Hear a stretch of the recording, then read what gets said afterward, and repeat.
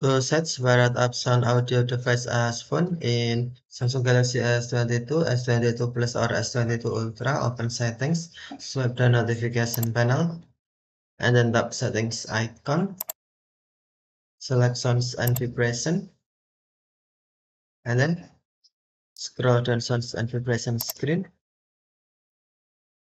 tap Separate app sound, and then you must turn on Spirit sound first. If off tap turn on no switch until blue will turn on. And then select audio device. Select phone. Select the audio device you want to use for the apps you selected play media sound from apps you select on a Spirit audio device. Make sure you choose an audio device that's different from your main audio output devices. Okay, thank you for watching. Have a nice day.